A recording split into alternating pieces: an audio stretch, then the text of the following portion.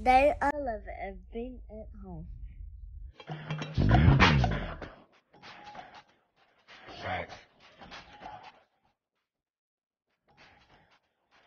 Facts. Uh-huh. I'm starting to think I'm about to go crazy.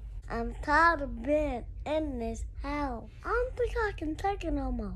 Everybody is starting to get on my nerves. My want to do is watch Frozen every five minutes. If I hear Let It Go one more time, I'ma scream. All my brothers want to do is wrestle. They gonna beat each other up until they black and blue every five seconds. Somebody hungry.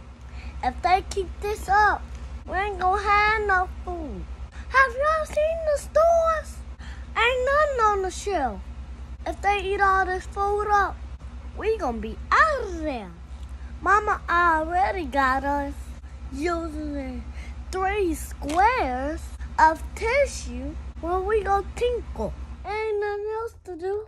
We can't go outside because the coronavirus got everybody tripping. And then we gotta wait on somebody to come out here and fix the Wi-Fi. I mean, the Wi-Fi. I just can't take it. This is too much. We were ready for this. Uh-uh now. This ain't it. This cannot be life right now. I don't know what to do. It's so boring.